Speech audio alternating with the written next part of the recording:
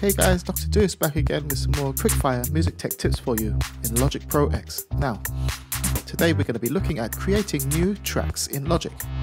The long way to do this is by clicking the Create New Track icon and we get this dialog box. From here, you can select the different type of track you'd like to create. However, there's a much quicker way of doing this. Today we're going to be looking at creating new audio tracks, software instrument tracks, external MIDI tracks, as well as duplicating tracks that already exist. Okay, let's get started. Now the first thing we're going to do is create a new audio track. To do this, you hold down Alt, Command and press A. Here we go. We've just created three brand new audio tracks by using this very simple keyboard shortcut. Next up is software instruments.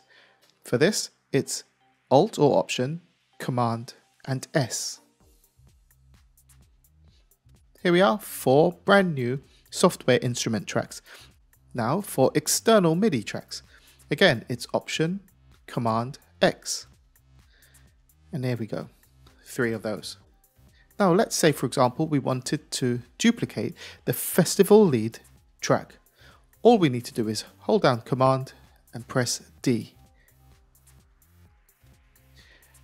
Here we go.